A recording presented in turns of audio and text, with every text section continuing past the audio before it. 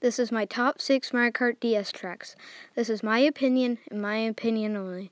Enjoy! Number six on my top six Mario Kart DS battle tracks is Tart Top.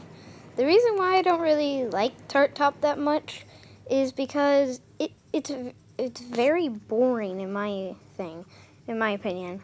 Uh, you you have to go up on that speed boost right there and you have to get items, and they're sometimes really hard to do. And I, I just don't like this course, honestly, and it takes a long time to do. So that's why I put it number six on my list. At number five on my list is Palm Shore. Palm Shore is very boring. It takes, it, all it does is just have water that comes out and plus, you can even drive in the grass, which makes it more boring. Um, I don't really like it, in my opinion. It's just very boring. Yeah, That's why I put it number five on my list. Upcoming on number four on my list is Twilight House. Twilight House is actually a nice stage. I, I don't like, well, I like it, but it, it's not my favorite. I, I can see why people like this, but I, I don't really like it. Um, well, it, you pretty much just go outside the house and inside. That's all you pretty much do, and this is kind of a fun stage. Um, that's why I put it number four on my list. Number three on my list is Nintendo DS.